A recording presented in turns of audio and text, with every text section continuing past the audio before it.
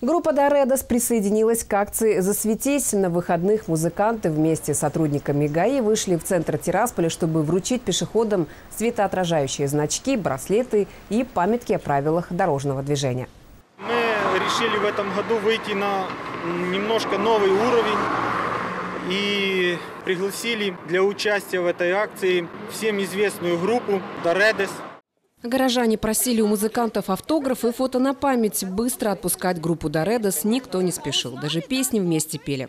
Песню какую-то, может быть, напоете нам? О parte mia, o parmigiano, o bella ciao, bella ciao, bella ciao, ciao, ciao, partigiano.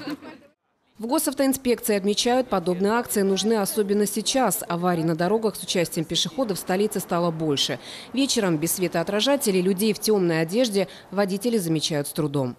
Мы сами являемся водителями и встречали такие ситуации, когда пешеходу ну вот нужно вот в этот момент быстро перейти дорогу, и не всегда его можно заметить, особенно в темное время суток. Сейчас это очень актуальная акция из-за того, что э, темнеет рано, как бы люди все равно, то есть движение начинается, когда все разъезжаются по домам с работы, это 5, 6, 7 часов вечера. Ну и, конечно же, мы призываем всех соблюдать и правила дорожного движения.